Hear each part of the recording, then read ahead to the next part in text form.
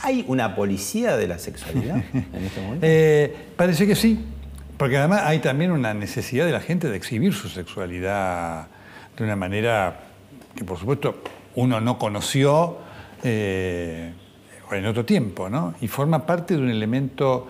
eh, hemos pasado de la inhibición, era mala, a la desinhibición eh, absoluta en algunas cosas. A veces te mostras con gente que te manda eh, un... eh, Cuando da en WhatsApp que tenés esa foto, y te manda una foto, qué sé yo, este, que vos decís, "Mm, qué foto media rara, ¿no es cierto? Realmente, ¿no es cierto? Que tiene un componente de intimidad muy fuerte.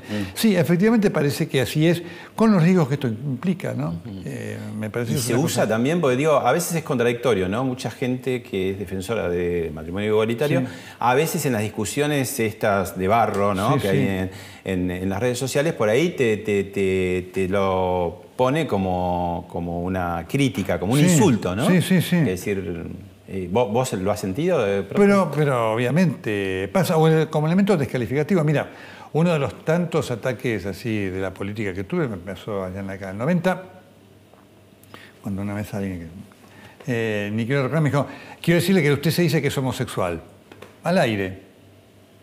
Y yo le digo, mire, le digo, eh, mire, no lo soy, pero si lo fuera, ¿cuál es el problema? ¿No es cierto? Le digo, le digo, esto, le digo, esto demuestra cuál es su concepto eh, de la homosexualidad absolutamente, de- por supuesto, el tipo cortó automáticamente porque se dio cuenta de lo- que había tenido.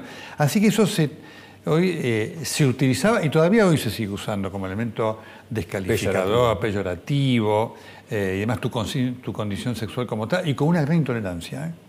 Digamos, una de las cosas que yo veo en este momento, y en este momento en donde el tema de la igualdad de género me parece algo muy importante, pero que tiene en muchos casos un elemento de intolerancia eh, que, me parece, eh, que me parece malo, ¿no es cierto?